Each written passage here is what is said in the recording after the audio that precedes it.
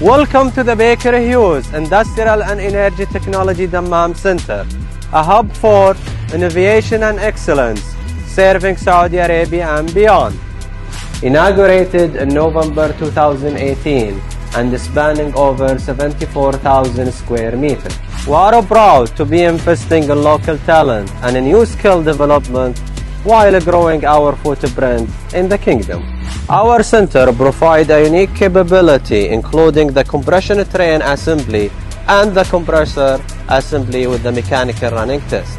Additionally, we have the capability to assemble the seal gas panel and the comprehensive compressor and turbine services. We are continuously investing to increase the center capability. This facility plays a crucial role in supporting major gas and hydrogen projects in Saudi Arabia, including NEOM and Jafurah. With over 100 local vendors, we are able to localize manufacturing equipment components, supporting localization, collaborating in the supply chain ecosystem in Saudi Arabia, and help drive economic growth. Safety and quality are our top priority in our operations.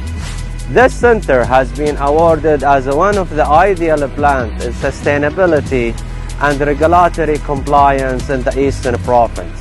Additionally, we have been recognized by Saudi Aramco IKTVA program as one of the best local manufacturer in quality assurance.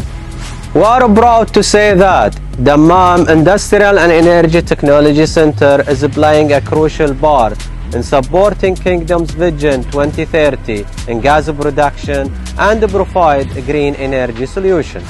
Here, innovation meets local expertise, paving the way for a sustainable energy future in Saudi Arabia and beyond.